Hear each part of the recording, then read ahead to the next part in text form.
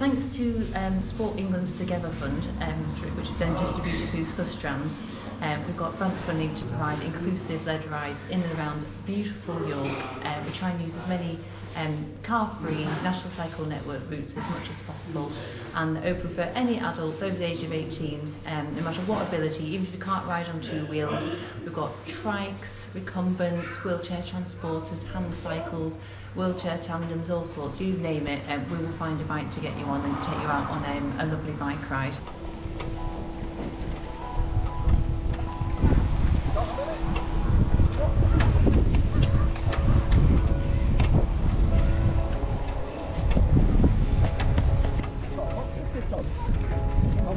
inside the box.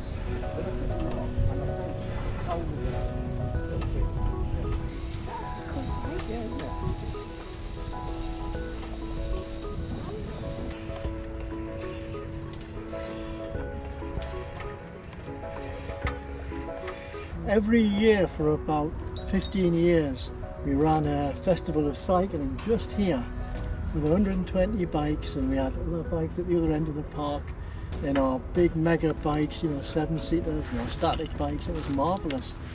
And then the funding stopped. We couldn't afford to do it.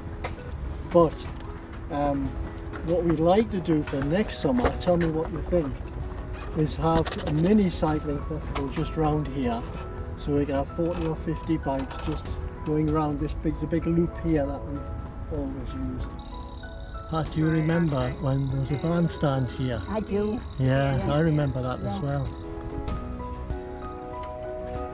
Cycling in York is fantastic compared to a lot of cities, but we would definitely, especially with us doing these inclusive rides, um, to have barriers removed, um, which I know the Sustrans are working on and I have removed some, but definitely to make cycling uh, more accessible um, for everybody to remove barriers. For example, if you're in a wheelchair transporter, it'd be very difficult to get through a barrier and therefore you can't go out and enjoy that route. So definitely the removal of barriers and more cycle network routes um, that are not on roads and are dedicated um, just for cyclists and walkers and make it safer for everybody to get around.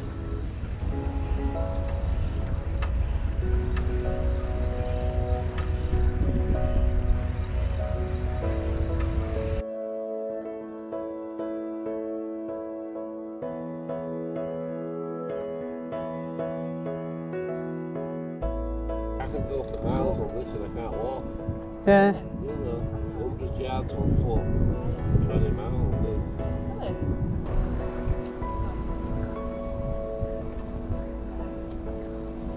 Speed up, see what it feels like. Without the electric. Now with the electric, go into top gear.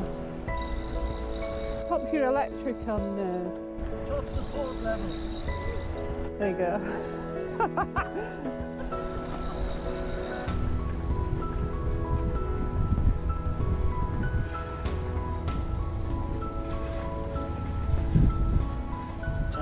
looking like a real pro. Uh-huh. You haven't Am cycled for two years and you're just Hello.